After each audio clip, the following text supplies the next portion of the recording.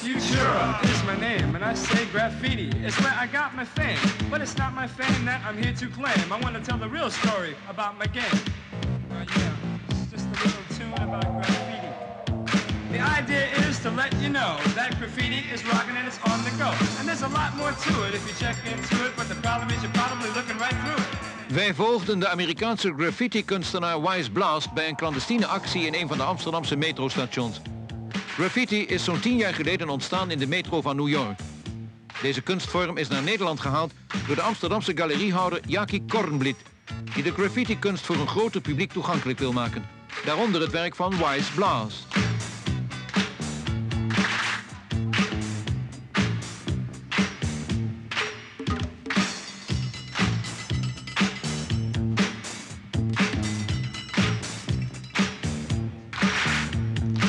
New Yorkse graffiti-kunst was onlangs ook te zien in het Rotterdamse museum Boymans van Beuningen.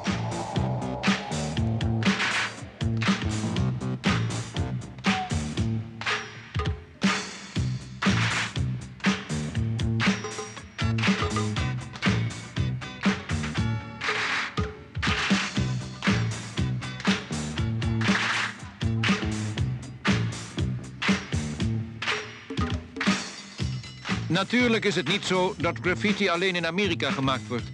Wie zijn ogen de kost geeft, kan dit openbaar kunstbezit ook overal in Nederland waarnemen.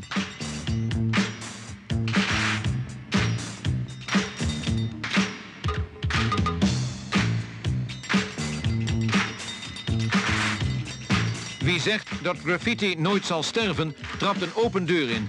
Want al ver voor onze jaartelling was de mens bezig met het maken van wandschilderingen in grotten.